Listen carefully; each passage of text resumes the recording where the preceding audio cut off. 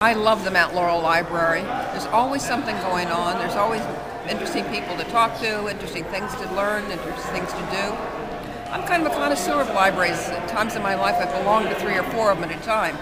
So I know a good library when I see it. Mount Laurel is one of the best.